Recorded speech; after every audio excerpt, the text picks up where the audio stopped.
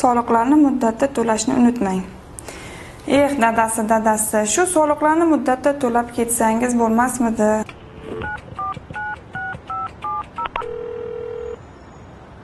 Assalomu alaykum dadasi.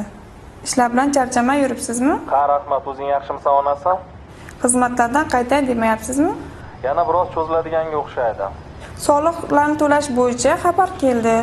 Muddatda to'lashimiz kerak. Soliqlarni to'lab ketmaganmidingiz? Bilasiz meni bolalarni bog'chasidan uy ishidan o'zimni ishimdan ortmayman.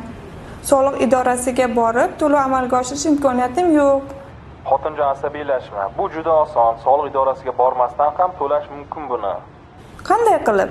Qo'l telefoni va soliq ilovasi orqali. Menda may soliq ilovasi yo'q-ku axir. Man o'rgataman san bajar. Hozir bir daqiqa dadasi play market ilovasidan soliq mobil ilovasini yuklab ol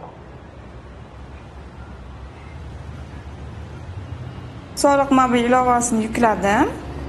Unga ismingni va telefon raqamingni kirit familiya ismimni kiritdim. Hamda telefon raqamimni yukladim.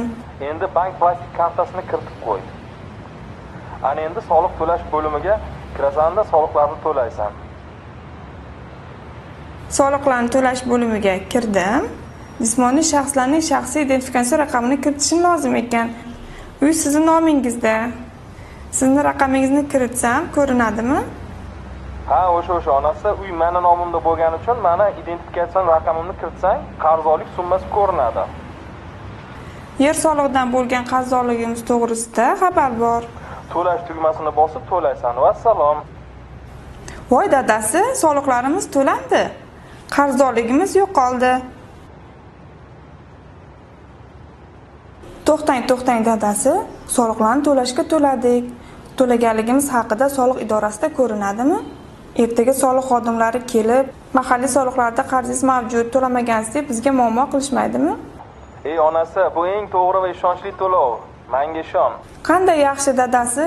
Eng qulay yo'li may soliq ilovasi orqali to'lash ekan. Bunda ham vaqtimiz tejaladi ham o'zlarimiz ishimiz vaqtida qilarkanmiz. Mayli dadasi.